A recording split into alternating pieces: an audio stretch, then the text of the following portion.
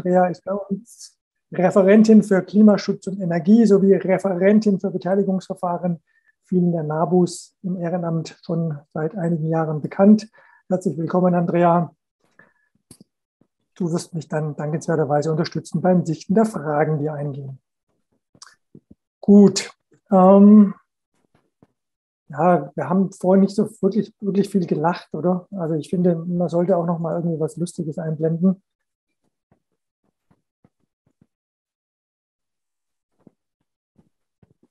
Da jetzt alle drüber lachen können, weiß ich natürlich auch nicht. Aber wir haben jetzt das Thema Windenergie und Artenschutz. Wie kann das gelingen? Und wir haben vorhin ja auch schon im Vortrag der Ministerin gehört, ja, da gibt es eine Taskforce, die sich äh, jetzt damit beschäftigt, auch die Verfahren zu beschleunigen. Dieses Thema Konflikt zwischen Ausbau der Windkraft und Artenschutz, sei es jetzt bei den Ornithologen oder bei den Fledermausfreunden, ist ja ein bekanntes Thema, kocht auch immer wieder im Verband hoch. Wir haben da schon relativ viele Diskussionen geführt. Und Johannes Enzle würde jetzt versuchen, den aktuellen Stand der Überlegungen beim NABU vorzustellen. Viele kennen dich, Johannes, aber ich möchte dich trotzdem kurz vorstellen, da wir ja doch auch eine relativ große Zahl an Menschen heute als Gäste dabei haben, die noch nie bei den Naturschutztagen dabei waren. Du bist äh, in Donaueschingen geboren, bist dann zum Studium nach Eberswalde ausgezogen und hast aber auch in Wageningen äh, und in Eberswalde Forstwirtschaft und Umweltpolitik studiert mit dem Schwerpunkt Naturschutz und Klimawandel. Und warst, äh, auf verschiedenen Stationen im In- und Ausland und letztendlich bist du dann aber beim NABU-Bundesverband gelandet, hast da als Referent für Waldwirtschaft und Naturschutz gearbeitet, bis dann im Jahre 2011 der Wechsel nach Baden-Württemberg erfolgte zum NABU-Landesverband, auch in der Funktion als NABU-Waldreferent. Und äh, im November 2016 wurdest du dann erstmalig zum Landesvorsitzenden des NABU gewählt. Die Wiederwahl erfolgte im Januar 2021. Soweit zu dir. Und Hast du korrekt wiedergegeben, Uwe. Gott sei Dank. Glück gehabt. Und jetzt würde ich dir die Bühne übergeben, damit du uns einführen kannst in die Überlegungen zum Thema Windkraft und Artenschutz. Wie kann das gelingen, das gut zu vereinbaren? Jawohl, jetzt muss ich nur den Vortrag finden. Hier ist er. Das ist gar nicht so leicht. Ja, vielen Dank, Uwe, für die Einführung. Wir haben jetzt ja schon zwei interessante Vorträge hm, gehört. Ähm, zum einen global die Perspektive, wie es aussieht mit dem Klimawandel und den diversen Kipppunkten im Klimasystem, die aktiviert werden können und was das bedeutet. Und zum anderen, was konkret das Land macht. Und wenn man natürlich so einen Vortrag hört, dann klingt es erstmal so, naja, klingt alles vernünftig und ähm, ist es wahrscheinlich auch und alles wichtig und richtig. Aber konkret merken wir das ja als NABU-Gruppen oder BD-Gruppen vor Ort auch, ähm, wenn es dann konkret um eine konkrete Planung geht, dann wird es oft schwierig. Gerade dieses Ziel, das jetzt postuliert wurde von der neuen Landesregierung, 1000 neue Windräder ähm, in Baden-Württemberg, äh, da fragen sich viele, ja, wie soll das denn eigentlich funktionieren? Und das haben wir uns natürlich auch gefragt, weil klar ist, wir brauchen die Energiewende, wir brauchen auch dazu den Ausbau der Windenergie. Aber natürlich stellt jedes Windrad erstmal auch einen Eingriff in den Naturhaushalt dar. Und natürlich gibt es Vogelarten, gibt es Fledermausarten, die verschiedenen Stressoren ausgesetzt sind, für die aber die Verluste bei Windkraftanlagen durchaus auch hm, zu einer relevanten Größenordnung kommen können, die dann irgendwann mal auch populationsrelevant werden. Und äh, vor dem Hintergrund stellt sich natürlich die Frage, wie soll das denn eigentlich gehen, gerade wenn jetzt dieser Ausbau auch noch beschleunigt werden soll. Gleichzeitig erleben wir das ja auch, dass die Akzeptanz für die Windkraft ähm, ja nicht überall gleich hoch ist, dass sich da viel Widerstand teilweise auch formiert ähm, vor Ort. Teilweise müssen wir auch zugeben, auch bei uns in unseren eigenen Reihen gibt es natürlich Menschen, die die Windkraft sehr kritisch sehen, die auch sagen, naja, wir brauchen das doch eigentlich gar nicht, wir können alles über PV machen oder eigentlich müssen wir vor allem ganz viel Wind, äh, ganz viel Strom erstmal und Energie sparen, dann können wir uns die Windräder sparen. Ich habe mich viel mit diesen Fragen auch beschäftigt und musste immer wieder feststellen mit verschiedenen Wissenschaftlern und Studien, die ich dazu auch gelesen habe und verschiedenen Akteuren, mit denen ich mich darüber unterhalten habe, diese Transformation, über die wir sprechen, das ist eine so große Aufgabe. Wir brauchen letztendlich leider alles und wir brauchen alles gleichzeitig und alles extrem schnell, wenn wir wirklich diese Ziele erreichen wollen. Und ich glaube, der Stefan Rahmstorff hat auch nochmal sehr deutlich gemacht, warum es so wichtig ist, dass wir diese Ziele äh, erreichen. Er hatte jetzt nur, sage ich jetzt mal nur in Anführungszeichen oder vor allem über äh, Eis, Eispanzer ähm, gesprochen und äh, Meeresströmungen und Meeresspiegelanstieg, aber schon allein diese Aussicht, sieben Meter Meeresspiegelanstieg, das zeigt ja, was das für Folgen hat, nicht nur ökologisch für Korallenriffe zum Beispiel, sondern ja dann auch sozial, wenn, man, wenn wir an Flüchtlingsbewegungen denken und wenn wir dran denken, was hat auch jetzt zum Beispiel die Flüchtlingswelle 2015 eigentlich mit unserer Gesellschaft gemacht? Äh, was bedeutet das, wenn wir in Zukunft möglicherweise Millionen von Klimaflüchtlingen haben werden aus anderen Ländern, wo die Lebensbedingungen einfach äh, nicht mehr äh, entsprechend gegeben sind, wo dann auch zusätzlich eben kriegerische Konflikte natürlich dazukommen. Und gleichzeitig haben wir als NABU und auch als BUND immer gesagt, ähm, auch LNV, grundsätzlich Windkraft ja, aber bitte richtig, gut geplant. Und oft wird ja so gesagt, ja, der Naturschutz, der bremst die Energiewende aus äh, durch die vielen Klagen. Das stimmt ja in der Form gar nicht, weil die Naturschutzverbände eigentlich sehr, sehr wenig klagen im Verhältnis äh, dazu, wie viele Projekte äh, realisiert werden. Häufig sind es Bürgerinitiativen, Privatpersonen, die oder eben äh, Organisationen, die sich gegründet haben, extra dafür, die dann äh, klagen und den, den Artenschutz gerne ein Stück weit auch nutzen, sage ich jetzt mal, oder instrumentalisieren, um unliebsame Projekte vor der eigenen Haustür zu stoppen. Und gleichzeitig hm, haben wir NABU und LNV jetzt in Baden-Württemberg. Ähm, Gerhard Bonner ist ja heute auch dabei. Wir haben eine Klage in Baden-Württemberg geführt gegen das Windra Windrad Orlach 6 bei Braunsbach im, im Landkreis Schwäbisch Hall. Und äh, das ist ein Windrad, das geplant wurde mitten im Dichtezentrum des Rotmilans und im Brutgebiet von Baumfalke, Schwarzstorch und Wespenbussard. Und wir haben schon ganz früh, zu einer ganz frühen Phase, haben unsere Ehrenamtlichen vor Ort selber in ja, Stunden, Wochen, monatelange Arbeit selber Daten erhoben und selber Gutachten erstellt und immer wieder auch Warnungen ausgesprochen gegenüber den Projektierern, gegenüber den Behörden und gesagt, passt mal auf, also nach unseren mm, Gutachten, letztendlich nach unseren Beobachtungen, dürfte das nach den LUBW-Hinweispapieren und Standards, dürfte dieses Windrad dort eigentlich nicht gebaut werden. Ähm, das Windrad ist dann trotzdem gebaut worden, ähm, weil man sich eben eines Gutachters bedient hat, der das Gutachten so gemacht hat, dass es passt. Das haben wir auch kritisiert. Man hat dann die, die, äh, die Planungsfirma hat auch nochmal ein anderes Gutachterbüro, nachdem wir das kritisiert hatten, zu Rate gezogen. Das kam zu anderen Ergebnissen, also ist man dann doch lieber wieder zu einem, zu einem alten Gutachter zurückgegangen. Und äh, das Windrad wurde gebaut, obwohl wir schon einen Widerspruch eingereicht hatten beim Regierungspräsidium, also einen Widerspruch gegen, das, gegen die Genehmigung. Und das Regierungspräsidium, das dann eigentlich über diesen Widerspruch hätte entscheiden sollen, hat elf Monate lang gar nicht entschieden. Und da stellt man sich natürlich schon die Frage, war das jetzt unsere Klage, die das verzögert hat und unsere Gutachten? Oder vielleicht auch, weil die Behörden einfach nicht, sag ich jetzt mal, äh, den Mut hatten, wirklich über diesen Widerspruch zu entscheiden. Also kam es dann zu einem gerichtlichen Eilverfahren und das Gericht hat uns in allen Punkten Recht gegeben, sodass diese Windkraftanlage jetzt gebaut ist, aber nicht, nicht sich drehen darf. Also ganz viel Geld letztendlich versenkt wurde und äh, dieses Geld hätte der Investor lieber vielleicht an einer anderen Stelle investiert. Und daran sieht man, man macht diejenigen, die sagen, ja, der Artenschutz oder der Naturschutz verhindert die Energiewende, die haben nicht recht, die schauen nicht richtig hin, sondern es sind vielfältige Gründe und oft eben auch, dass nicht ausreichend gute Gutachten gemacht werden und solche Geschichten. Dazu hatten wir ja auch NABU, BUND und LNV in den vergangenen Jahren auch äh, im Prinzip Vorschläge gemacht, wie die Gutachten verbessert werden können. Und deswegen war es natürlich für uns in der Umweltbewegung besonders eklatant, als noch vor Regierungsantritt der neuen Ampelkoalition der von mir eigentlich sehr geschätzte Sven Giegold als neuer Staatssekretär, damals war er noch nicht, zwei Tage bevor vor Amtseinsetzung war das, ähm, neuer Staatssekretär im neu geschaffenen Bundesministerium für Wirtschaft und Klimaschutz, gegenüber der Presse gesagt hat, naja, man muss sich jetzt gegenüber der EU-Kommission dafür einsetzen, dass der strenge europäische Artenschutz entschärft wird weil es kann ja nicht sein, dass im Prinzip der Rotmilan äh, die Energiewende diktiert. Ähm, inzwischen ähm, hat er da ordentlich Gegenwind bekommen und hat das auch nochmal richtig gestellt, dass er das so wohl nicht gemeint hat.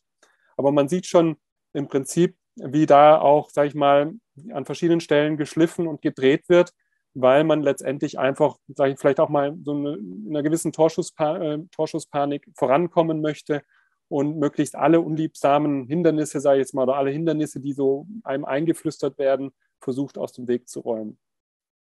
Und das ist natürlich für uns eine, ja, auch eine, eine Herausforderung für uns Umweltverbände. Und ich bin sehr froh, dass die Umweltverbände, egal ob Greenpeace, BUND, DUH, NABU auf Bundesebene da auch sehr schnell und sehr klar reagiert haben. Gleichzeitig stellt sich natürlich die Frage, wie kann es denn wirklich schneller vorwärts gehen? Weil wir alle wissen, wir haben die eklatanten Auswirkungen des Klimawandels in den letzten Jahren schon gespürt, ob das die Trockenheiten waren, äh, die sich in unseren Wäldern abgezeichnet haben, oder aber natürlich auch im, im vergangenen Jahr die katastrophale Flut im Ahrtal und im Erftal, wo inzwischen ja auch eine Studie belegt hat, eine Studie aus äh, Großbritannien, eine internationale Studie, äh, die dann tatsächlich einen statistisch signifikanten Zusammenhang herstellen konnte zwischen eben Klimaveränderung und diesen Starkregenereignissen in der Region. Ähm, wir haben die diversen Buschbrände und riesigen Waldbrände in teilweise noch nie dagewesenem Ausmaß gesehen in, in Australien, aber auch in Nordamerika, auch in, in, in der, ähm, in der Taiga, äh, also in der, in, in der sibirischen, russischen ähm, Waldgürtel, im borealen Waldgürtel.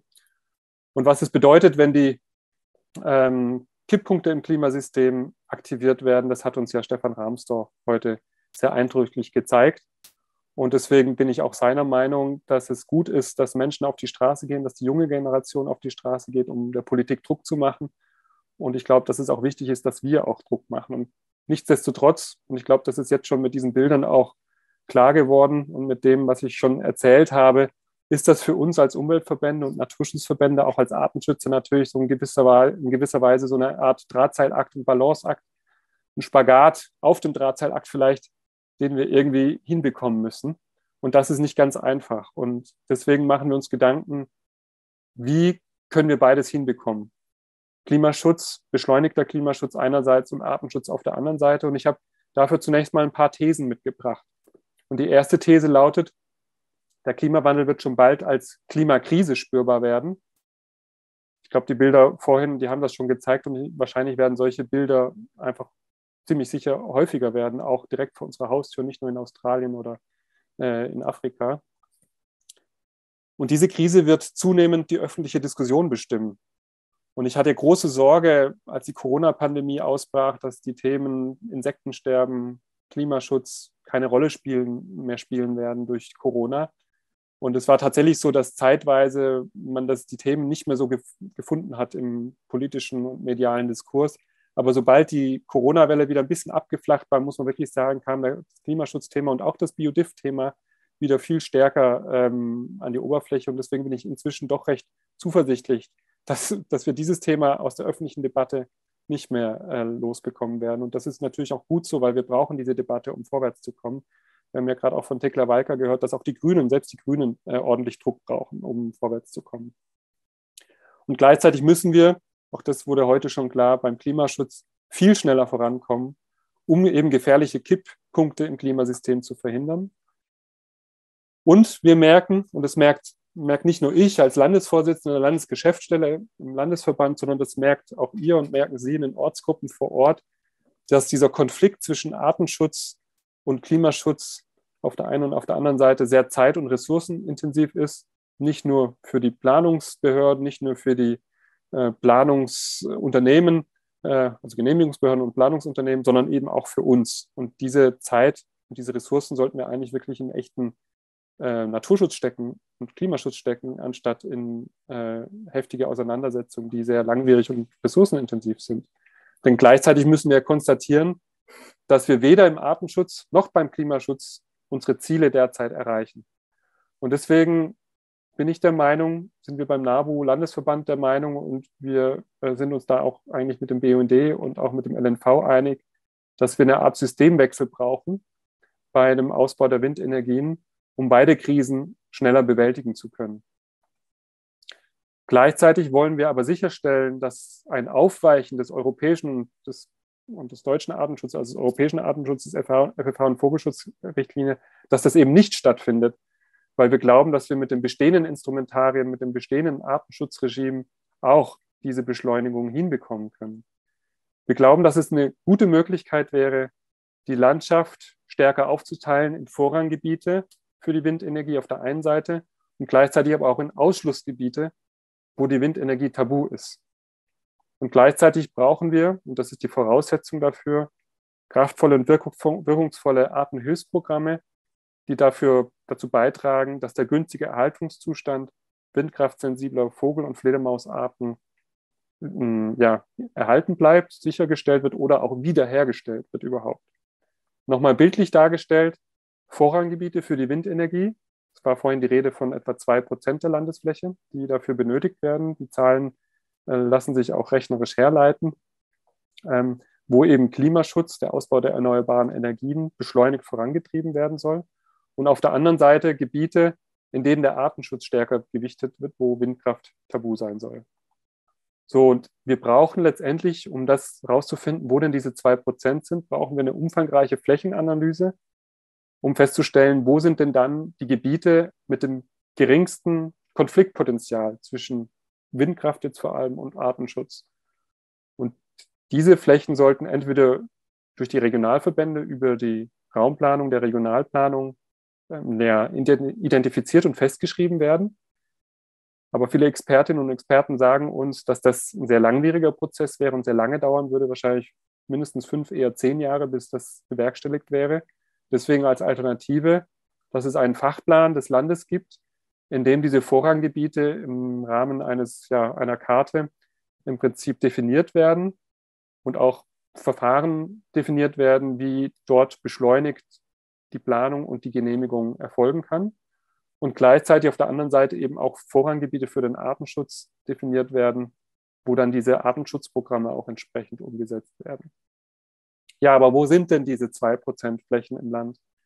Wir haben uns mal Gedanken dazu gemacht, ob es denn möglich wäre, das ähm, ja, zu eruieren, rauszufinden und haben dazu eine Art Modellstudie gemacht. Das Gute ist, dass wir ja wissen, wo der Wind weht. Es gibt den Windpotenzialatlas der Landesregierung, der derzeit auch nochmal überarbeitet wird. Äh, hier sieht man so einen Kartenausschnitt jetzt aus dem Raum Nordschwarzwald äh, und, und Gäu. Hier rechts ist Stuttgart, da oben Karlsruhe. Ähm, und man sieht diese Flatschen, sage ich jetzt mal, diese Polygone, diese Flächen, einmal gelb und einmal grün. Grün, das sind Flächen, die äh, von der Windhöfigkeit her und auch von den Restriktionen her gut geeignet wären für die Windenergie. Gelbe Flächen sind Flächen, die bedingt geeignet sind, entweder weil dort nicht ganz so viel Wind weht oder äh, weil dort bestimmte Restriktionen auch äh, vorhanden sind. Das sind in der Summe 13 Prozent der Landesfläche. Also eigentlich schon mal eine ordentliche Summe. Und wie wir ja vorhin schon gehört haben, notwendig, um die Klimaziele für Baden-Württemberg zu erreichen, wären zwei Prozent. Das heißt, von diesen 13 Prozent müssen wir eigentlich aussuchen, wo sind die zwei Prozent mit dem geringsten Konfliktpotenzial. Was wir auch wissen ist, wo denn die Schutzgebiete sind. Also sage ich jetzt mal die Juwelen letztendlich äh, des Naturschutzes, also Naturschutzgebiete, der Nationalpark, Pflege- und Kernzonen von Biosphärengebieten, aber auch Bann- und Schonwälder und natürlich die FFH- und Vogelschutzgebiete. Und dann stellt sich natürlich die Frage, wo könnten denn Vorranggebiete für den Vogelschutz liegen? Wo könnten die denn sein? Und da haben wir uns überlegt, wie könnte man das modellhaft denn mal skizzieren?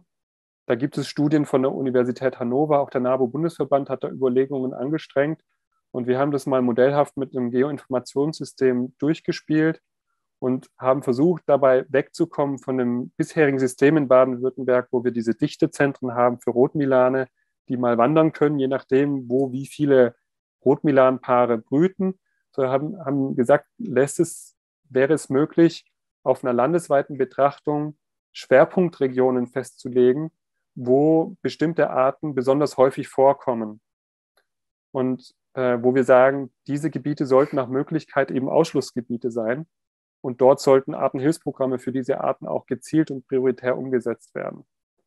Wir haben das mal durchgespielt, zum Beispiel für den Schwarzstorch und haben hier angenommen, Schwarzstorch ist eine sehr windkraftsensible Art, sehr störungsempfindlich, hat auch keine allzu große Reproduktionsrate, also ist nicht so fortpflanzungsfreudig wie jetzt andere Arten, wie das wäre, wenn man 80 Prozent der Schwarzstorchpopulation in so einer, man nennt das im ökologischen, in der ökologischen Wissenschaft äh, Kernelanalyse, in einer Kernelanalyse sozusagen ja, zusammenfasst, wo denn 80 Prozent der Population dann zusammengefasst werden. Das heißt nicht, dass in den grauen Bereichen nicht auch Schwarzstörche vorkommen, aber wenn man eben 80 Prozent der Population schützen möchte, dann wären das diese blauen Flatschen äh, oder diese blauen Flächen, äh, die hier ähm, ja im Prinzip betroffen wären.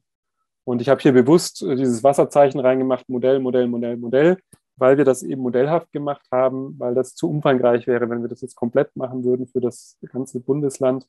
Ähm, das muss letztendlich die LUBW machen, äh, weil wir dafür nicht die ausreichenden Kapazitäten haben, das so zu machen, dass es dann auch wirklich methodisch äh, wasserfest ist, sage ich jetzt mal.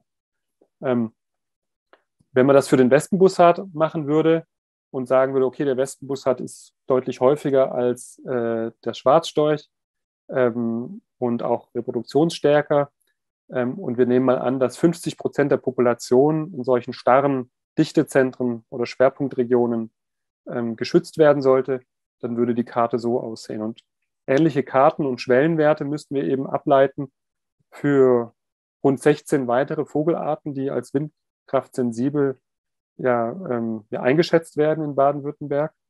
Diese Herleitung dieser Schwellenwerte, das ist wissenschaftlich nur sehr schwer möglich. Das wird natürlich notwendig sein, das über eine gutachterliche ja, ähm, Einschätzung zu machen. Wir haben das jetzt hier für die Arten, für die wir das gemacht haben, haben wir da Expertinnen und Experten von der OGBW, von der LUBW und auch vom NABU also OGBW ist die Ornithologische Gesellschaft Baden-Württemberg, NABU und LUBW von der Vogelschutzwarte, äh, ja, zusammen in einen Raum gesetzt und die mal gebeten, dass sie uns da mal mögliche Schwellenwerte nennen. Und natürlich stellt sich die Frage, es sind ja nicht nur Vögel, die windkraftsensibel sind, auch Fledermausarten. Wo könnten denn Vorranggebiete für die Fledermäuse liegen? Und bei den Fledermäusen ist es ein bisschen schwieriger als bei den Vögeln, weil man könnte vielleicht der ein oder andere sagen, ja, bei den Vögeln haben wir zu wenig Daten, aber bei den Fledermäusen sieht es ja noch viel schlechter aus, was die Datengrundlage betrifft. Deswegen äh, haben wir hier für einige Arten mal versucht, wir haben das äh, Fachbüro, Planungsbüro Freenat, das in der Fledermausszene sehr renommiert ist, in Freiburg ansässig, ähm, der Fledermausschutz sehr versiert ist, haben wir gebeten, Habitatmodelle zu machen. Wir haben da auch besondere Expertise in der Herstellung von Habitatmodellen die eine Mischung sind aus echten Daten, also wo sind, wo kommen Fledermäuse vor und äh, dann eben eine Modellierung, was weiß man über die Habitatansprüche der einzelnen Arten und wo würden sie demnach oder wo haben sie eine Höhe, hohe Vorkommenswahrscheinlichkeit aufgrund ihrer Habitatansprüche. Und hier sieht man jetzt am Beispiel von zwei Arten, links die Mopsfledermaus, rechts die Rauhautfledermaus, wie solche Habitatmodelle dann mh, hm, projiziert aufs ganze Land dann aussehen würden. Und man sieht hier schon, dass das sehr unterschiedlich sein kann, innerhalb der Fledermäuse auch, weil es eben auch innerhalb der Fledermäuse sehr unterschiedliche Arten gibt, die ganz unterschiedliche Habitatansprüche haben. So, und was wir da auch feststellen konnten, dass das Konfliktpotenzial äh, mit, für Kollisionen, dass Fledermäuse also an Windrädern kollidieren, grundsätzlich überall vorhanden ist. Also dass man, es gibt im Prinzip keine einzige Fläche, in Baden-Württemberg, die komplett frei wäre von einem potenziellen Artenschutzkonflikt. Also auch das überall, selbst dort, wo dann genehmigt wird, ohne Ausnahme oder sowas, wie das aktuell ist, kann es immer vorkommen, dass eine Fledermaus oder auch ein, ein Greifvogel äh, an so einem Windrad verunglückt. Ähm, gerade bei Arten wie der Zwergfledermaus ist das problematisch, weil die zwar sehr häufig ist, aber auch flächendeckend vorkommt. Oder es gibt Arten wie die Abendseglerarten, die große Aktionsradien haben. Und was bei viel, also oft weniger bekannt ist, auch bei den Fledermäusen gibt es Arten, die ziehen über weite Strecken und die haben dann nicht bestimmte Zugkorridore, sondern man geht davon aus, dass es doch eher Breitfrontenzüge sind. Also Arten, die dann aus Russland oder aus dem Baltischen äh, dann eher in den Süden migrieren und wieder zurück, je nach Jahreszeit. Das heißt, Abschaltungen in Form, also als Vermeidungsmaßnahme sind in jedem Fall notwendig zu bestimmten Zeiten. Vor allem dann eben, wenn wenig Wind weht und die Temperaturen entsprechend sind und die Fledermäuse auch fliegen. Und gleichzeitig geben diese Habitatmodelle, hier sieht man mal so einen Ausschnitt von, wenn man mal heranzoomt, Die blauen Flächen wären dann äh, eben diese windhöfigen Flächen aus diesem Windatlas und die roten Flächen wären äh, Flächen, die für den Fledermausschutz in dem Fall jetzt besonders relevant sind.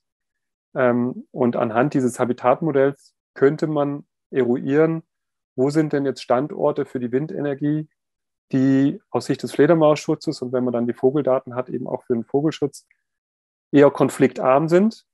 Und wo sind Standorte, wie wir jetzt hier sehen, im Zentrum, da ist dieser rote Punkt oder auch hier, wo, wo bekanntes Quartier, ein wichtiges Vorkommen von Fledermäusen ist, wo man sagen müsste, da sollte man auf jeden Fall draußen bleiben. Das wäre auf jeden Fall ein Ausschlussgebiet, selbst wenn hier auch eine blaue äh, Fläche markiert ist, die also windhöfig wäre.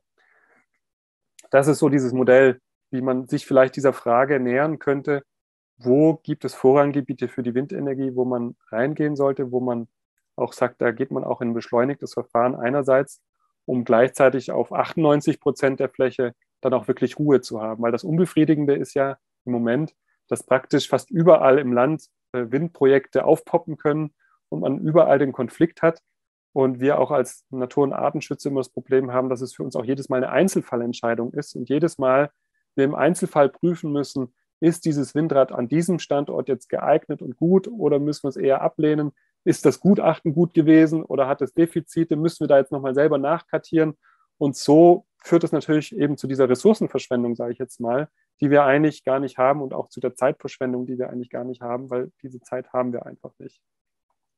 Klar ist aber auch, dass selbst wenn man so vorgehen würde, wir auch weiterhin Vermeidungsmaßnahmen brauchen, ähnlich wie ich das gerade gesagt habe für die für die Fledermäuse. Also das heißt eben Mindestabstände zu besonders sensiblen Gebieten, wie eben zu Quartieren von Fledermäusen oder eben Greifvogelhorste. Andere Bundesländer haben sogenannte Horstschutzonen im Wald, wo ganz klar ist, da muss auch die Forstwirtschaft und die Jagd Abstand halten zu den Brutzeiten äh, zu äh, Greifvogelhorsten. Wir brauchen auch weiterhin Ablenkflächen, die angelegt werden müssen oder zum Beispiel Anpassung von Maatregimen in der Landwirtschaft, um zum einen ähm, Greifvögel wie zum Beispiel Rotmilan abzulenken und wegzuziehen, sage ich mal, von den, von den Windrädern. Aber auch ganz, was ganz klar ist, wenn eben Maatzeit ist und das Grünland gemäht wird im Umfeld von, von Windrädern, dann müssen die auch stillstehen, damit eben, wenn dann Greifvögel von der Maat, wie man das hier auf diesem Foto schön sieht, angezogen werden, dass dann eben auch das Kollisionsrisiko minimiert wird. Wir brauchen, wie vorhin schon gesagt, diese Abschaltzeiten, diese Abschaltalgorithmen für Fledermäuse die es eigentlich schon gibt, zumindest bei neu genehmigten Anlagen, wo aber jetzt festgestellt wird gerade, dass die teilweise gar nicht richtig umgesetzt wird. Dann müssen wir selber als NABU und Umweltverbände auch nochmal nachschauen. Ähm, und wir brauchen natürlich die zwingende Nachrüstung von allen Altanlagen, die äh, da sind, weil im Moment laufen viele Anlagen, die diese Abschaltautomatik noch nicht haben. Und ein weiterer Punkt, und da setze ich große Hoffnung äh, rein, sind neue technische Möglichkeiten, zur automatisierten Erkennung von Vögeln, ähm, wie jetzt hier an diesem Beispiel mh, hm, diese, diese Hardware, die nennt sich Identiflight, die jetzt inzwischen als erstes System auch von deutschen Instituten als reif für die Praxis anerkannt wird. Das ist ein Kamerasystem, das, wie man hier sieht, das eben im, im, in einem Windpark aufgestellt wird, das in 365 Grad sozusagen den Himmel überwacht mit diesen Kameras, die man unten dran sieht und dann eben auch äh, noch eine besondere Kamera hat oben drauf, die dann genau ranzoomen kann. Und dieses System hat jetzt schon eine Erkennungsrate von 97,5 Prozent auf eine Entfernung von 750 Metern. Also unglaublich, wie jetzt auch die Entwicklung da schnell voranschreitet, eben durch künstliche Intelligenz. Da gibt es ja schon einige Anlagen im Testbetrieb und so viel ich gehört habe, in Nordrhein-Westfalen auch schon Anlagen, die damit eben auch genehmigt wurden. Und die Hoffnung ist es natürlich, dass man damit diesen Konflikt mit Greifvögeln und auch mit, mit Schwarzstörchen und so weiter massiv entschärfen kann, indem eben diese, diese Erkennungssysteme frühzeitig anschlagen und dann eben die Anlagen abschalten, wenn eben sich ein, ein windkraftsensibler Vogel auf eine bestimmte Entfernung nähert. Wenn diese Dinge umgesetzt sind, wäre aus unserer Sicht es vorstellbar, dass dann eben in diesen Vorranggebieten für die Windenergie die Genehmigungsverfahren auch entsprechend beschleunigt werden und gegebenenfalls auch die artenschutzrechtliche Ausnahme stärker davon gebraucht gemacht wird als bisher. Das funktioniert aber nur, wenn gleichzeitig, wie gesagt, schon diese Artenhilfsprogramme umgesetzt werden. Und diese Artenhilfsprogramme, die müssen den günstigen Erhaltungszustand der Population entweder sichern und wo er noch nicht erreicht ist, wiederherstellen. Sie müssen nicht nur einfach irgendwie genannt werden irgendwo, sondern sie müssen verbindlich in einem Gesetz verankert sein. Sie müssen natürlich wirksam sein, das ist ganz klar, weil es funktioniert ja nur, wenn die auch wirksam sind. Das heißt aber, sie müssen ganz konkret verzahnt werden mit Maßnahmen im Wald und auch im Offenland. Ich hatte solche Horstschutzzonen schon angesprochen, Flächenstilllegung für Fledermäuse im Wald, im Offenland, was das Thema betrifft, ähm, eben Anlegen von greifvogelfreundlichen Wiesen äh, und Äckern oder greifvogelfreundliche Maat und Pflege von, von Wiesen und Äckern und das bedeutet natürlich, dass das Ganze auch verzahnt werden muss mit dem bestehenden Förderprogramm der Land- und Forstwirtschaft. Und es gibt schon diverse Projekte, die ähm, sich diese Fragen schon näher angeschaut haben. Was müsste eigentlich in solchen Artenhilfsprogrammen drinstehen? Ich möchte hier nur eins nennen, das vom Bundesprogramm für biologische Vielfalt, also vom Bundesamt für Naturschutz und BMU gefördert wurde. Rotmilan, Land zum Leben, Praxisratgeber Landwirtschaft, wo verschiedene Verfahren und Methoden im Prinzip Entschuldigung, erprobt wurden, wie kann man den Rotmilan aktiv fördern. Auch das Projekt Mäuse für den Rotmilan vom NABU Hessen ist so ein Projekt. Und wo dann auch konkrete Vorschläge gemacht wurden für die landwirtschaftliche Förderung und auch für die forstliche Förderung und Umsetzung, wie dann zum Beispiel Rotmilan jetzt in dem Beispiel aktiv gefördert werden, damit dann eben einzelne Verluste, die an Windrädern geschehen, eben nicht ins Gewicht fallen, sondern der günstige Erhaltungszustand der Population trotzdem ähm, gesichert ist und äh, hergestellt wird. Ist aber auch klar, dass das nur funktioniert, wenn es durch ein systematisches Monitoring begleitet wird. Und da braucht es auch eine klare öffentliche Berichtspflicht, zum Beispiel an den Landtag, dass einmal im Jahr an den Landtag dieser Monitoringbericht vorgelegt wird. Und es ist auch klar, dass es natürlich äh, einen Korrekturmechanismus braucht, einen verbindlichen, wo dann klar ist, okay, es, ab einem bestimmten Schwellenwert, wenn das Monitoring entsprechenden Wert ergibt, muss dann nachgesteuert werden, müssen die Maßnahmen verstärkt werden. Und sowas funktioniert natürlich auch nur, wenn es mit ausreichend Personal, Sach- und Finanzmitteln dann ausgestattet ist. Und wir schätzen, das ist nur eine sehr grobe Schätzung, dass es pro Jahr wahrscheinlich so 15 bis 20 Millionen Euro braucht, die das Land investieren muss, und als jährlichen Haushaltstitel zur Verfügung stellen muss, um solche Artenhilfsprogramme wirklich auf die Spur zu bringen und wirklich konzentriert umzusetzen. Bislang gibt es zwar Artenschutzprogramme in Baden-Württemberg, aber nichts Vergleichbares zu diesen Artenhilfsprogrammen, die wirklich landesweit koordiniert werden. Es gibt eigentlich nur in Bayern vergleichbare Dinge wie zum Beispiel für ähm, den Kiebitz oder für, äh, für andere Arten, wo man auch durchaus Erfolge sehen kann. Ja, beim Thema Beschleunigen möchte ich betonen, dass es, glaube ich, wichtig ist, Verfahren wirklich zu verbessern, statt sie zu schleifen. Also nicht Verfahren verwässern, sondern verbessern. Entschuldigung. Das bedeutet, zum einen, die Regionalverbände haben die Aufgabe, sonstige Hemmnisse, die es beim Windkraftausbau gibt, überhaupt mal aufzulösen. Also zum Beispiel die Abstände zu Drehfunkfeuern, die Abstände zu Wetterradaren oder die Flugsicherung. Es ist ja im Moment so, dass es häufig so aussieht, als ob der Artenschutz immer sozusagen der, der Dolchstoß dann ist für Windkraftplanungen. Das liegt aber daran, häufig wirkt das so, weil der Artenschutz in der Prüfungskaskade häufig ganz am Schluss kommt. Also erst plant man alles und prüft alles ab und dann am Ende müssen dann die Gutachten gemacht werden und dann stellt man fest, huh, hier ist ja ein Dichtezentrum vom Rotmilan. Und Dinge wie eben das Wetterradar oder die Flugsicherung, die werden von vornherein einfach als gegeben angenommen, obwohl das möglicherweise gar nicht zwingend notwendig wäre. Es gibt bis jetzt noch keine Pflicht, dass zum Beispiel kleine kleine Privatflugzeuge ein entsprechendes Radar auch haben, so einen Transponder haben im Prinzip, dass, dass sie gewarnt werden, äh, dass wenn sie zu niedrig fliegen in der Nähe eines Windparks. Im Moment geht das nur über ähm, ja, ähm, Lichtsignale und deswegen blinken die Windräder in der Nacht auch so hässlich und sieht aus in, im Schwarzwald oder hier bei mir im Schwäbischen Wald, als ob wir irgendwie im Ruhrpott sitzen vor einer Chemiefabrik, weil die eben zur Flugsicherung so blinken müssen. Das könnte man damit auch abschaffen, sodass die Nacht auch wieder besser geschützt ist. Also das sind Dinge, worüber viel zu wenig diskutiert wird aus meiner Sicht und dann immer auf dem Artenschutz rumgehackt wird. Die Behörden müssen natürlich, aus meiner Sicht braucht es da zusätzliches Personal bei den Planungs- und Genehmigungsbehörden, die müssen ja fit gemacht werden, Und es braucht auch eine Spezialisierung und Bündelung, möglicherweise bei den Regierungspräsidien, ähm, um die teilweise sehr komplexen Verfahren wirklich konzentriert abarbeiten zu können. Und es kann nicht sein, dass nur uns Umweltverbänden irgendwelche Fristen gesetzt werden, sondern auch die Behörden selber müssen Fristen einhalten und Fristen teilweise dann auch vorgeben. Sie müssen zum Beispiel sagen, wann sind denn jetzt wirklich die Planungsunterlagen komplett, weil dann hat der Antragsteller für, für eine Windkraftgenehmigung hat dann, hm, sage ich mal, das, also eine Genehmigungs, wie soll ich sagen, Garantie in einem bestimmten Zeitraum, dass ihm ein Bescheid erteilt wird. Und wenn die Behörden einfach keinen Bescheid erteilen, dass die Unterlagen komplett sind, müssen sie auch nie bestätigen, ähm, dass sie komplett sind und dann eben äh, keine, also haben keine Frist, die Genehmigung dann zu erteilen oder entsprechend abzulehnen. Das will ich sagen damit.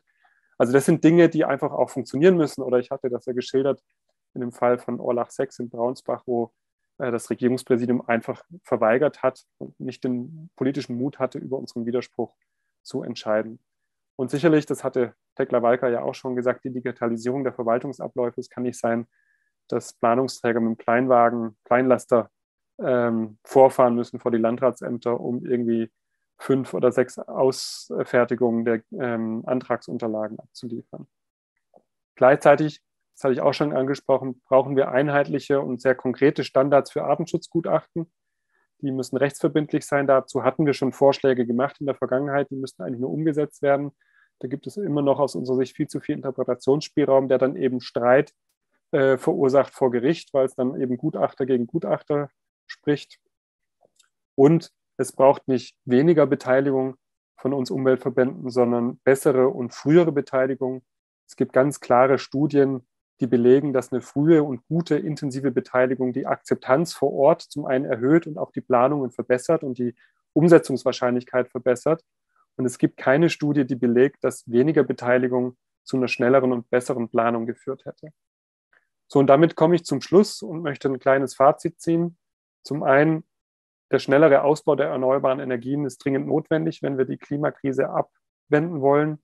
Und wir müssen sie abwenden, nicht nur um unser Selbstwillen und der menschlichen Zivilisation willen, sondern auch, um die Artenvielfalt erhalten zu können. Ich erinnere hier nur an die Korallenriffe oder die Amazonas-Regenwälder. Wir glauben, dass wenn wir Vorranggebiete für Artenschutz und für Windkraft schaffen, dass wir dadurch von vornherein Konflikte entschärfen und Prozesse beschleunigen können. Dafür braucht es aber wirksame Artenhilfsprogramme, um eben den günstigen Erhaltungszustand der Population sicherzustellen. Und diese Artenhilfsprogramme müssen natürlich finanziell und personell entsprechend unterlegt sein. Und der Erfolg und Misserfolg muss natürlich durch ein systematisches Monitoring ja, regelmäßig überprüft werden. Und damit bin ich am Ende dieses Vortrags und bedanke mich bis hierhin erstmal für die Aufmerksamkeit und freue mich jetzt auf Fragen und auf die Diskussion.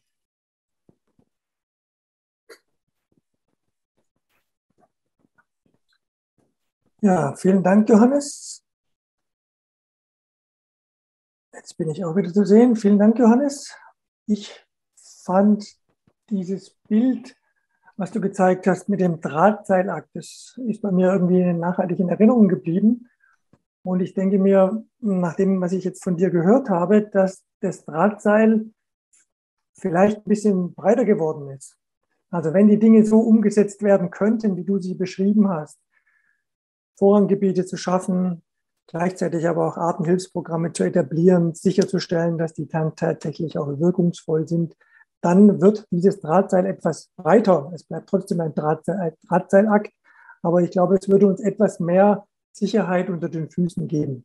Aber ich möchte natürlich nichts vorausgreifen dem Applaus.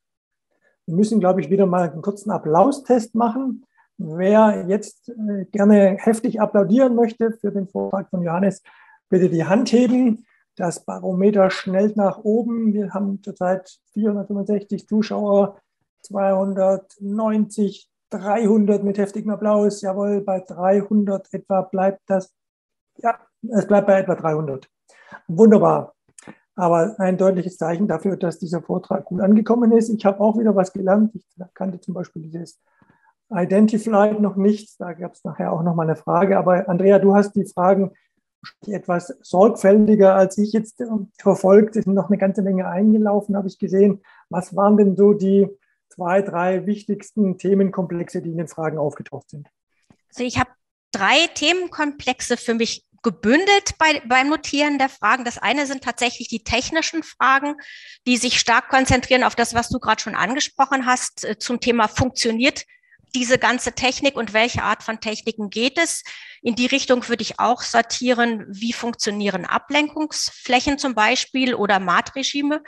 Dann habe ich den ähm, Naturschutzkomplex, habe ich mir mit N markiert, äh, die Fragen zu ähm, zum Beispiel, wie werden denn Flächen gesichert, die jetzt noch nicht besiedelt sind, ähm, die aber dann noch wichtig wären, um einen günstigen Erhaltungszustand zu erreichen. Und dann habe ich auch noch einen dritten äh, Fragenkomplex ähm, geklustert, wo es mehr so um diese Energiefragen geht. Mit dem könnten wir vielleicht starten, weil der ganz gut anknüpft an die beiden vorangegangenen Vorträge, wo ähm, ich solche Fragen zusammengefasst habe, wie warum lehnt der NABU nicht grundsätzlich einfach Windenergieanlagen ab?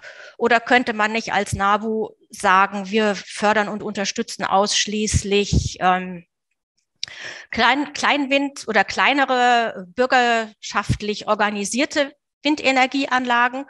Die Spanne der Fragen geht aber dann ähm, bis in die andere Richtung, dass es heißt, zeigt nicht der Vortrag von Herrn Rahmsdorf ganz stark, dass wir auch als Naturschützer, Naturschützerinnen raus müssen aus der Komfortzone und stärker voranpreschen. Damit würde ich vielleicht mal den ersten Fragenkomplex an Johannes geben. Ja, vielen Dank, Andrea. Und das sind Fragen, die ich mir, die ich mir natürlich auch selber stelle und die wir uns ja auch selber im, im Landesverband stellen und auch im Bundesverband. Also müssen wir nicht raus aus der Komfortzone? Also diese Frage, die werden wir ja auch am, am Samstag noch diskutieren mit Jörg Andreas Krüger und mit, mit Brigitte Dahlbender. Wie müssen wir uns vielleicht auch ein Stück weit aufstellen, dass wir auch für die Zukunftsaufgaben, die vor uns stehen und die, in denen wir eigentlich schon mittendrin stecken, dass wir da selber als Verbände auch zukunftsfähig bleiben. Und dieser Drahtseilakt und diese zwei Herzen in unserer Brust, das ist ja was, was uns alle ein Stück weit umtreibt.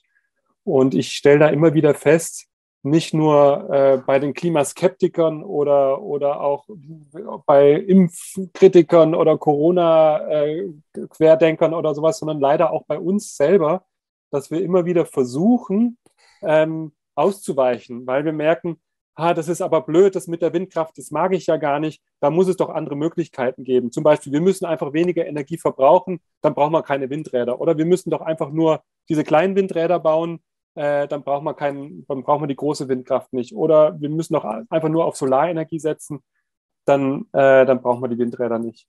Und ich habe mich mit dieser Frage intensiver befasst und wirklich auch viele Expertinnen und Experten dazu befragt, sowohl bei den Umweltverbänden als auch in der Energiewirtschaft und da immer wieder gehört, ja, es stimmt, natürlich müssen wir es irgendwie hinkriegen, weniger zu verbrauchen. Ja, das ist ganz, ganz wichtig. Diese Suffizienzdebatte, die wird zu wenig geführt. Die wird von den Grünen zu wenig geführt und da müssen wir uns als Umweltverbände aber auch selber an die Nase fassen. Die wird auch von uns zu wenig geführt.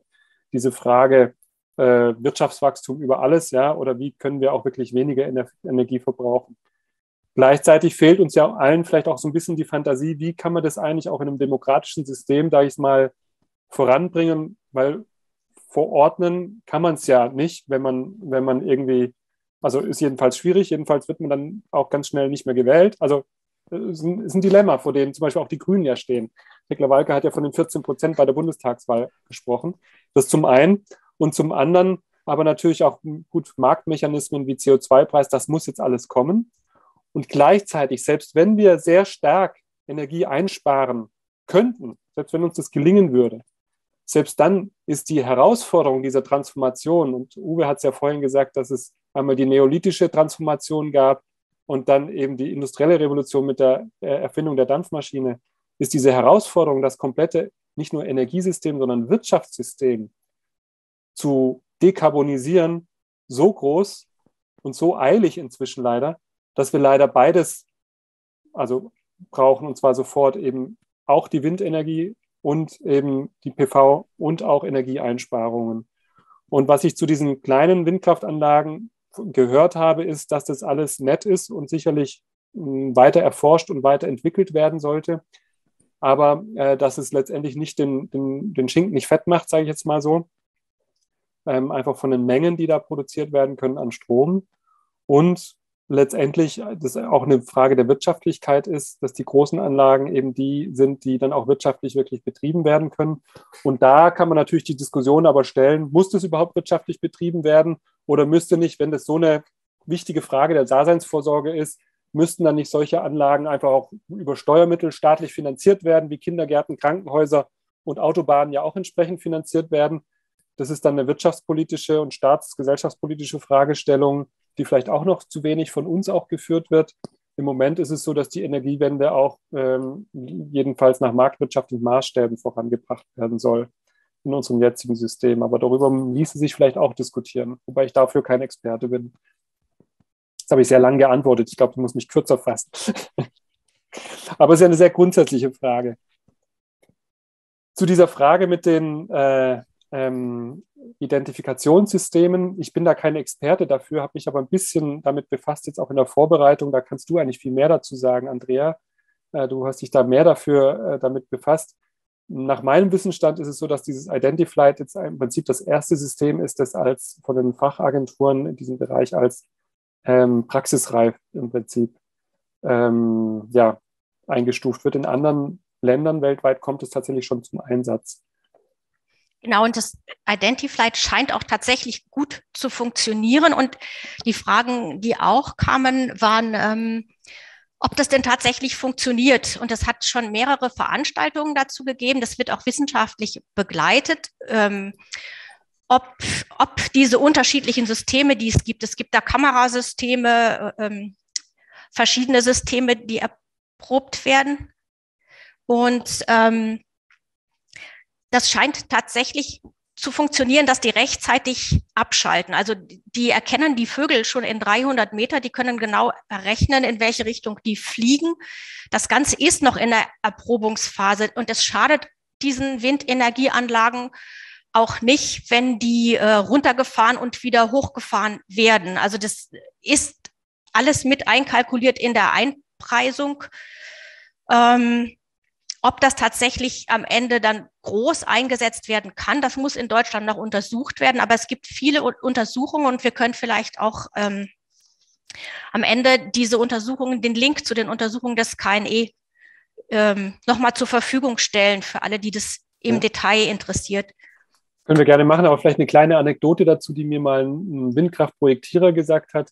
Naja, ist ja schön und gut, Herr Enzler, wenn wir dann solche Systeme haben, aber das führt dann dazu, dass wenn der jetzt sich da gerade in Rotmilan ansiedelt, er sozusagen äh, seinen Horst baut und dann jeden Tag mehrfach ein- und ausfliegt, die Windkraftanlage dann ständig runterfährt. Das führt dann dazu, dass mir ein, eine Bank, bei der ich versucht habe, mein, oder mein, mein Windrad sozusagen finanzieren lasse, dann sagt, naja, Sie können ja gar nicht garantieren, dass sie wirklich, dass die Anlage am Ende wirklich, wirklich wirtschaftlich betrieben wird. Also das sind so Fragen, die dann auch noch mit reinspielen, wo ich immer wieder merke, dass es Sinn macht, sich auch wirklich mit Planern auseinanderzusetzen und auch denen mal zuzuhören, was, was für Probleme denn mit den einzelnen Fragestellungen dann auch verbunden sind. Ist jetzt nicht unser Hauptthema, aber das sind einfach Dinge, die äh, auch mit bedacht werden müssen. Ja. Vielleicht, Johannes, kannst du noch ein bisschen auf das Konzept, das du vorgehst, äh, vorgestellt hast, eingehen. Dazu gab es ein paar Fragen auch, verschiedene Fragen. Zum Beispiel, ob schon klar ist, ähm, ob die Flächen am Ende ausreichen werden, die, äh, die, wenn man alles miteinander verschneidet. Und dann kam auch eine Frage dahingehend, wer denn dieses Konzept am Ende umsetzen sollte und wie die Umsetzung realisiert werden kann. Also äh, vielleicht zu der äh, zweiten Frage zuerst. Wir haben das jetzt mal modellhaft methodisch sozusagen skizziert. Würde das denn funktionieren? Und ähm, wir haben da festgestellt, dass nach unserer Sicht würde das funktionieren, das so zu machen. Ähm, und es gibt ja diese Taskforce, die auch schon angesprochen wurde von der Tekla Walker, ähm, die sich auch mit diesem Thema befasst. Und äh, die LUBW, unsere Landesanstalt, hat jetzt wohl, wie ich äh, weiß, vom Umweltministerium auch den Auftrag bekommen, diesen Pfad methodisch jetzt mal weiter zu verfolgen und diese Karten sowohl für die Windenergie äh, zu aktualisieren, für die Vögel und auch für die Fledermäuse sozusagen auf, auf dem, was wir jetzt da schon vorgearbeitet haben, darauf aufzubauen, um das noch zu verbessern und, und, und äh, ja, klarer zu machen.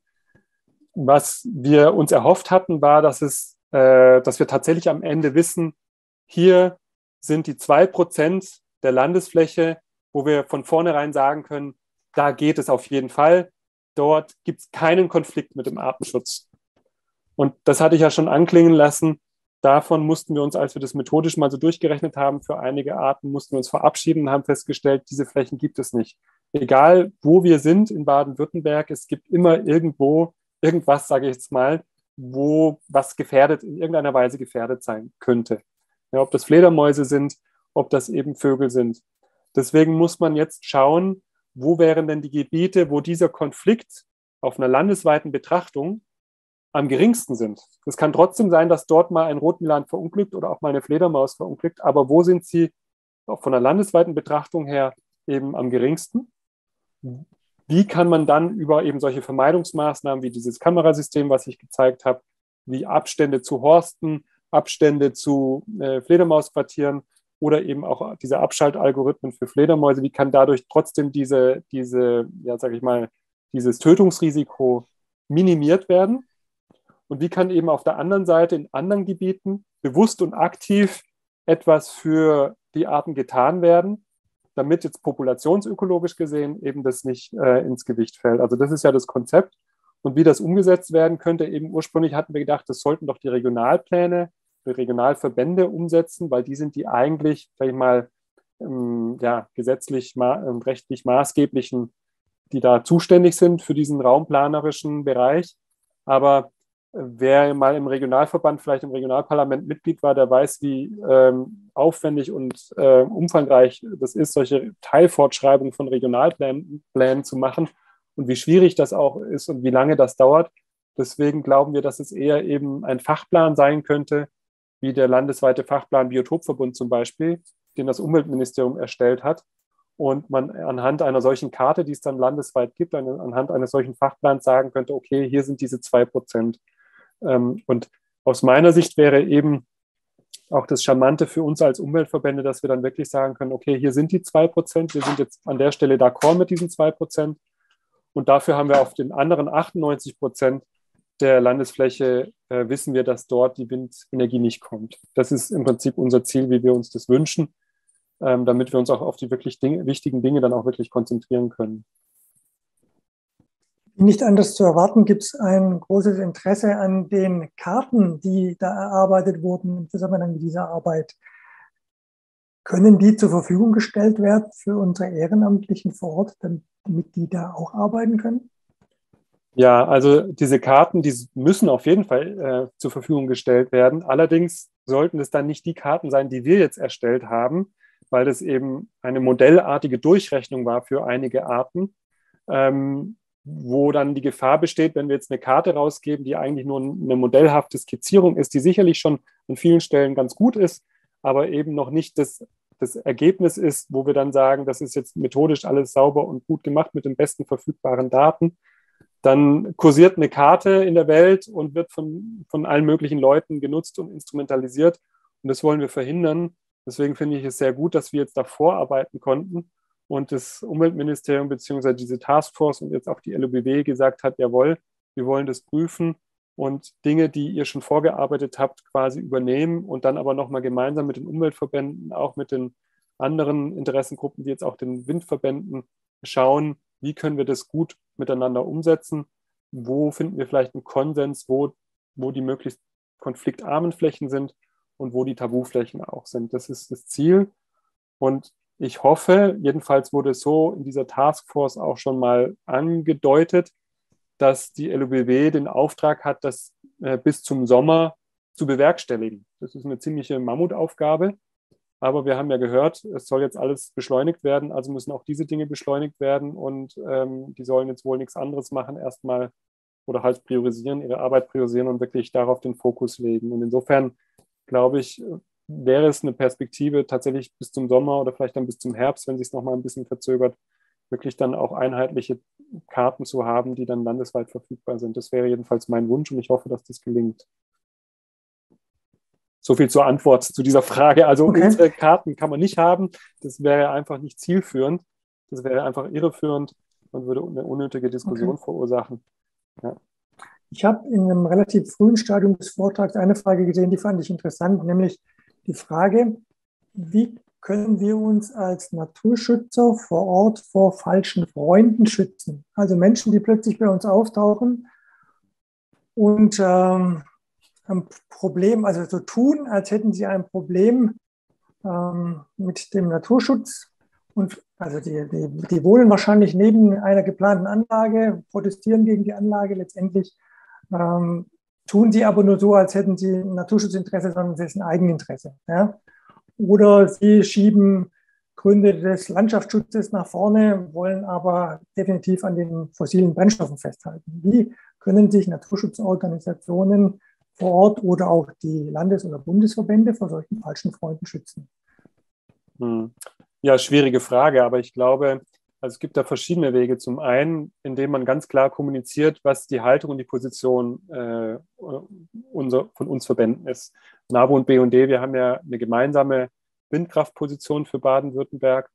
Und zwar das von Anfang an auch schon zu Zeiten von Brigitte Dahlbender und André Baumann sehr, sehr wichtig, dass wir uns hier nicht spalten lassen, sondern dass wir hier gemeinsam agieren, weil wir wissen, dass dieses Thema auch Spaltungspotenzial hat und dass es äh, heiß hergehen kann und deswegen wichtig ist, dass wir großen Umweltverbände da auch zusammenhalten. Ähm, das ist also das eine, dass man von Anfang an klar sagt, passt mal auf, wir sind pro Energiewende, pro Windenergie und grundsätzlich prüfen wir alle Vorhaben erstmal wohlwollend und schauen wirklich nur in Einzel, also schauen im Prinzip dort, wo es wirklich tatsächlich Konflikte gibt.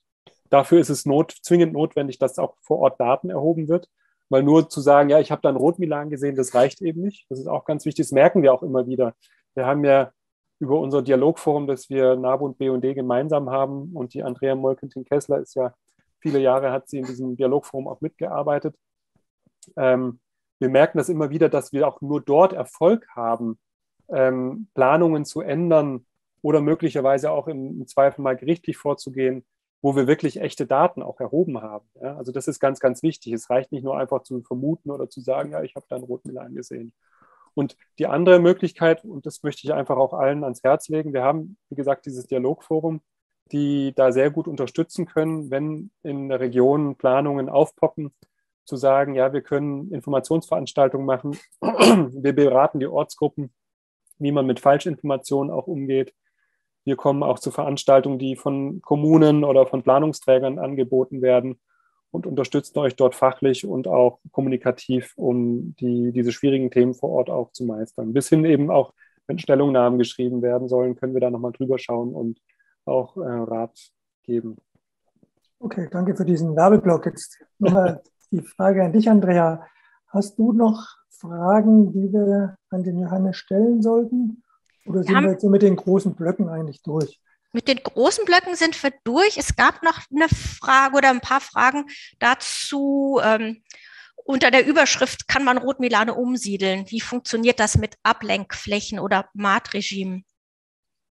Ja, also umsiedeln kann man sie nicht wirklich. Und man stellt manchmal sogar fest, dass äh, dann erstmal kein Rotmilan da war, dann die Windanlage gebaut wurde und sich dann in unmittelbarer Nähe sogar ein Rotmilan-Paar vielleicht sogar ansiedelt. Also auch solche Sachen soll es schon gegeben haben.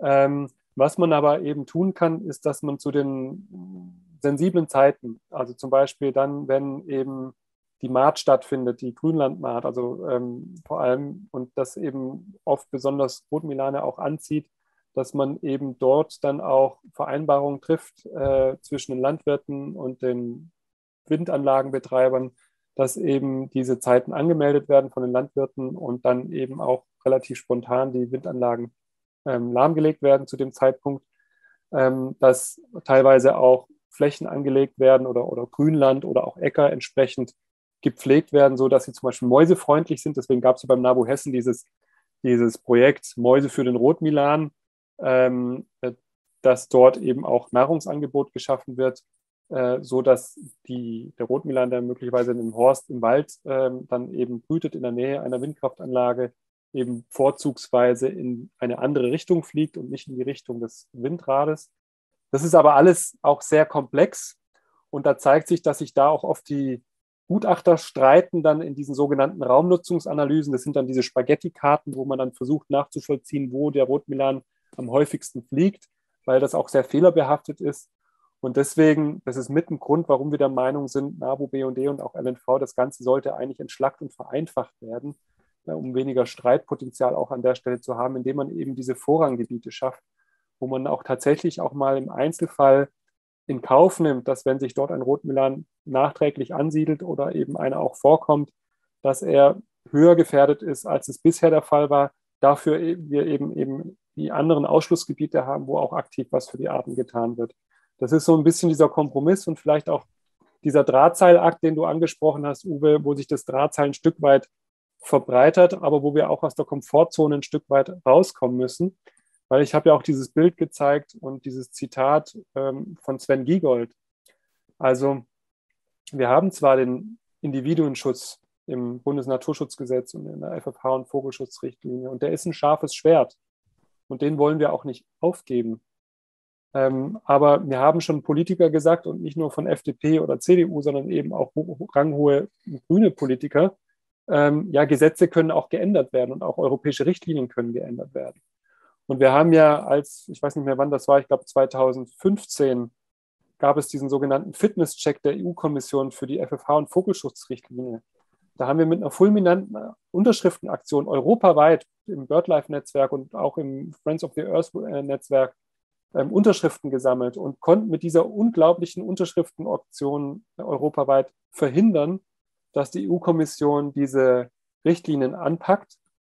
Und wenn das passieren würde, mag ja sein, dass die ein oder andere Sache jetzt schon eigentlich auch aus unserer Sicht verbessert werden sollte in den FFH- und Vogelschutzrichtlinien. Aber die Erfahrung zeigt einfach, wenn das jetzt angepackt werden würde, dann würde sich das eher zu unseren Ungunsten verändern. Und deswegen sollten wir auch Wege aufzeigen, wie man den Individuenschutz und den strengen Artenschutz, den wir haben, beibehalten kann und die vorhandenen Instrumente, wie eben die artenschutzrechtliche Ausnahmegenehmigung nutzt, um eben auch aufzuzeigen, ja, wir kriegen das hin mit dieser Krise. Ja, weil es ist ja nichts anderes als eine Krise, um, um eben den schnelleren Ausbau der erneuerbaren Energien auch zu ermöglichen und gleichzeitig eben diese Artenhilfsprogramme, ich sage es ganz offen, auch als Faustpfand zu nehmen. Ja, wenn ihr das wollt mit den erneuerbaren Energien, dann müsst ihr aber eben im, Prinzip auch diese Millionen und, äh, auf den Tisch legen und auch das Personal bereitstellen, dass diese Maßnahmen für die Artenhilfsprogramme auch umgesetzt werden. Das heißt, Ach, ich antworte immer viel zu lange. Nein, das heißt aber definitiv, es bleibt spannend und ich bin sehr zuversichtlich, dass wir dieses Thema irgendwann mal wieder auf der Agenda haben, sei es jetzt bei den Naturschutztagen oder bei einer anderen größeren Veranstaltung. Ich glaube, das wird uns weiter beschäftigen, diesen Spagat hinzukriegen, diesen Drahtseilakt hinzukriegen. Aber ich glaube, für heute können wir es auch jetzt mit Blick darauf, wie wir die Fragen abgearbeitet haben, glaube ich, mal bewenden lassen. Es ist jetzt auch schon kurz vor halb sieben. Ich glaube, das wäre ein guter Zeitpunkt, um jetzt hier zum Ende zu kommen für den heutigen ersten Tag.